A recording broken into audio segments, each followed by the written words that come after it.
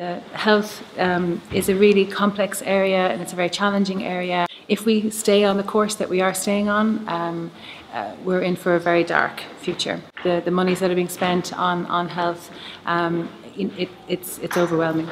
So the idea is that we get 14 researchers from across seven different disciplines in the university to bring varied ideas and disciplines to bring all those to bear on these very complex problems. You know, Limerick City will really benefit from that when we're bringing economists to work alongside architects, to work alongside engineers, product designers, occupational uh, therapies, um, interactive design, marketing we need all these different disciplines to, to, be working much more collaboratively and regularly getting input from experts in those fields and also from, um, from people working in uh, grassroots level and community groups in Limerick and at policy level. And it's also those kind of varied ideas about the future that we need to be bringing together and to work in a collaborative way towards reimagining our futures for both um, product and service um, innovation and also with regard to um, understanding the public and the private implications of this health challenges that we face.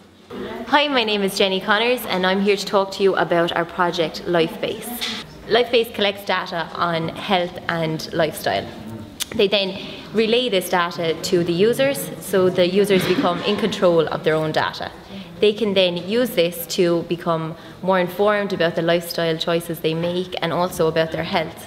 The user then can relay this information to a number of stakeholders such as health insurance companies. They can also use this data to donate to charitable organisations and research organisations in order to create a more efficient and, and a more efficient health service.